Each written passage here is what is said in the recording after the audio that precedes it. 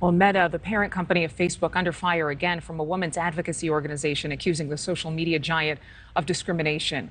Real Women in Trucking has filed a complaint with the Equal Employment Opportunity Commission last week, claiming that Facebook intentionally hides higher paying job advertisements from women and older workers. It's also stating Facebook's algorithm is pushing jobs like trucking, construction, and manufacturing jobs solely to men and steering job ads like housekeeping and childcare to women. This marks the second time Facebook was accused of discrimination. Back in 2019, the social media giant agreed to make changes to its ad platform. News Nation has reached out to Facebook and Meta for a statement. Facebook has not responded to our request, but we are joined right now by Desiree Wood, president and founder for Real Women in Trucking and the lawyer representing them, Peter Romer Friedman. Thank you both for being with us. Desiree, the complaint actually shows that 75 Facebook ads were pulled. But how do those ads prove your claims of discrimination? Well, it's already difficult to find jobs in trucking. And in our charge, we have examples that show um, the frequency that they were shown to men as opposed to women.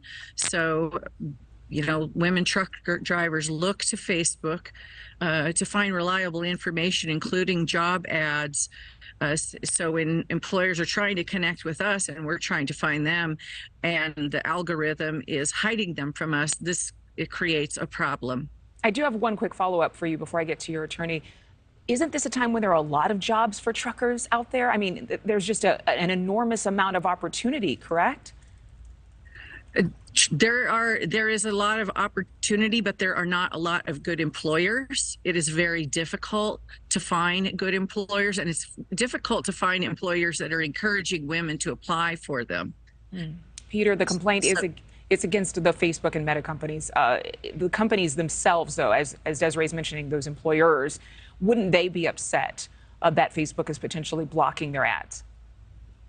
They should. Uh, many companies uh, around the country want to reach people of all ages, women, men, people of all genders.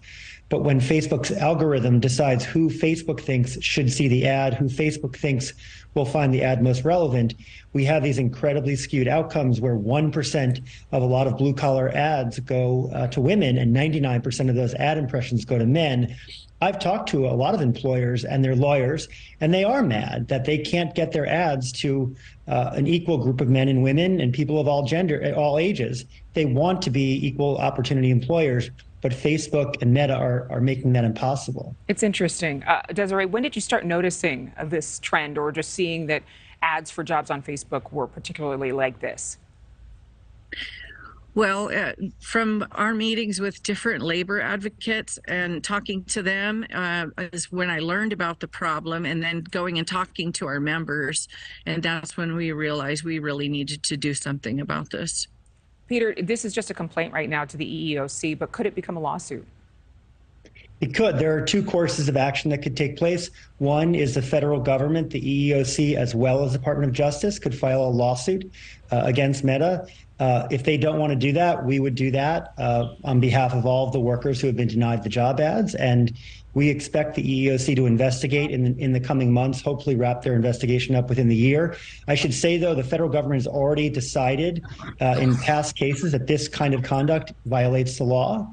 So we, we expect that the federal government will collect the evidence that we provided them plenty of here in the complaint uh, and go to work. Thank you for watching. Go to newsnationnow.com to find News Nation on your television provider. And don't forget to click the red subscribe button below to get more of News Nation's fact driven, unbiased coverage.